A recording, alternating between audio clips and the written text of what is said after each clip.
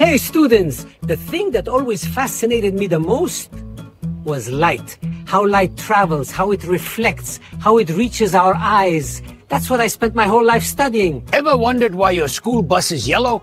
The reason is actually pretty simple and very scientific. Yellow light hits your eyes faster than any other color, even faster than red. That's because yellow sits right at the peak of your visual sensitivity. Your brain catches it almost instantly. See this? Highest visibility wavelength. Boom!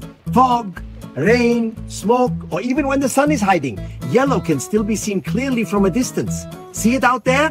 Through all this mist, the other bus still shouts at your eyes. That is the power of physics. Colors aren't just decoration.